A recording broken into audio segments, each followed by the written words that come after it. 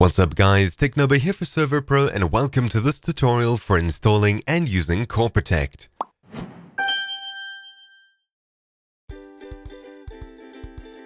Core Protect is the best logging and anti-griefing plugin a server can have. With this plugin, you're able to roll back and restore just about any amount of damage done to your server and find out who did it. To install the plugin, head over to the plugin section. Select the Spigot tab and search for Core Protect install the version that's compatible with your server, and restart. Alternatively, you could download it from the Spigot page and upload it to your Server Pro panel. So before we begin, what does it log?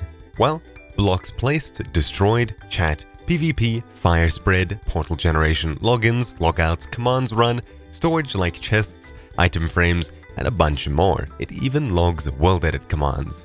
But before we get too deep into this, if you get stuck anywhere, remember we can use slash co space help. That's the plugin's help command, and you may find it useful to refer back to later. Now that we know what it does, how do we use it? Well, we use the plugin's main command for finding out who did what, and that is inspect. So slash core space inspect or slash co space i for short. This toggles the inspector on and off. We interact with the inspector by left or right clicking on blocks. Left click on a block to see who placed it, right click to see who removed adjacent blocks. Right click on a chest to see who interacted with what in it and when, and you can also right click on doors, buttons, redstone, and more to see who last interacted with it and when. The next feature for finding out who did what, we have the lookup command. Type slash co space lookup or slash co space l for short followed by a bunch of parameters. We can use u colon to look up actions by only a specific user and t colon for only searching a certain amount of time. Basically, slash co space l space u colon followed by a username, t colon followed by an amount of time will look up anything this player has done in the past x amount of time. If you want to see exactly what happened when, we could get really specific with what time we look at. So we could change that time to be something like 1D, 2H, 3M, meaning that we're looking in the last day, 2 hours, and 30 minutes for this player. Yeah, we can get that specific. You can even look up what happened in an area by using r colon. Similar to the previous command, we use slash co space l space r colon followed by a radius around you, so I'll use 10, space, and I'll do a time of one day, so t colon 1d.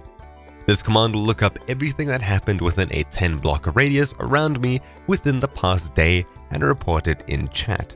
You can look up interactions with a block by using b colon in the search. This uses block names, so if we use slash co space l space b colon stone r colon 10 t colon 1d, it'll look up interactions with stone within a 10 block radius over the past 24 hours. We can even look up actions such as chat, PvP logs, and more. We do this with an A colon. For example, slash co space l space a colon chat t colon 1d.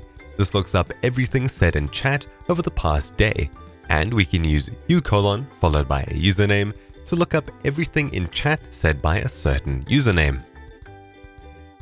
Looking at my little bit of redstone over here, you can see that it was griefed. I can stand somewhat close to where I remember there being blocks and run something like slash co space l b colon tnt r colon 20 t colon 1 day.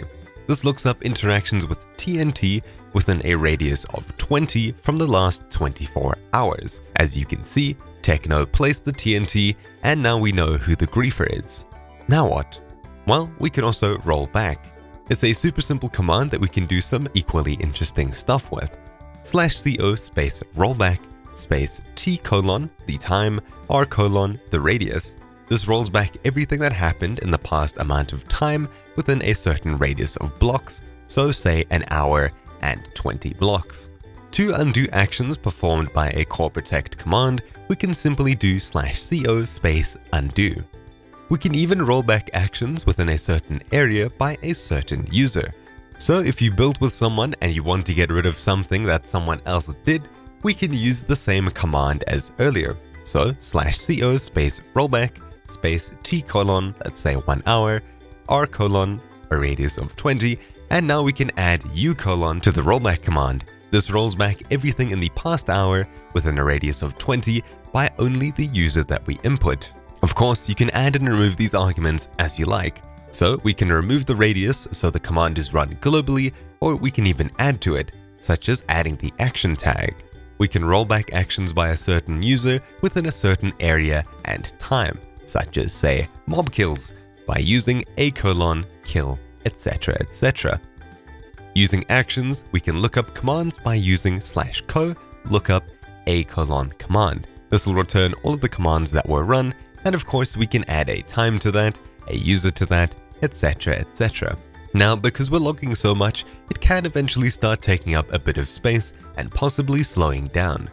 We can use slash co space purge to clear parts of our history, but of course we need to specify a time, and for that we use t colon followed by a number, etc etc. Locate the config in the plugin folder. If you're expecting a really confusing config, then you'll be relieved to know there's only one config file, and it's rather simple. Opening config.yml, we see everything we need to know. In here we can set up a MySQL database if you have one available, otherwise it'll just use the database.db file in the plugins plugin folder. Below the SQL options, we can enable or disable checking for updates, and then we have a bunch of toggles to enable or disable logging of certain things. If we disable recording something, it'll help us save a little space in the database, but of course it'll also stop us from looking up and rolling back certain actions. For example, we can disable tracking of water flowing with water-flow on line 97, and we can even stop tracking world edit commands by toggling world edit on line 129. When it comes to deciding what to track and what to not, it's all up to you and your server's niche. You get to play detective with this plugin and keep your server safe from griefers. Anyways, Hope this tutorial was helpful. If you have any plugin suggestions, leave them in the comments down below. If you're having issues with anything, contact our support team. Thanks for watching, and I'll see you all next time. Ciao.